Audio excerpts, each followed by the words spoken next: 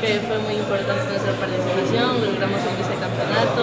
lastimosamente en penales perdimos la final, pero creo que hicimos un muy buen campeonato, pusimos mucha actitud y por eso logramos esto. Sí, bueno, eh, fue, eh, ganamos mucha experiencia con este campeonato, había muchas chicas que era su primera experiencia internacional y bueno, creo que lo hicieron muy bien y pudimos alcanzar así, bueno, eliminamos a Sao Paulo, que era el campeón, y creo que pusimos mucha actitud y con nuestro esfuerzo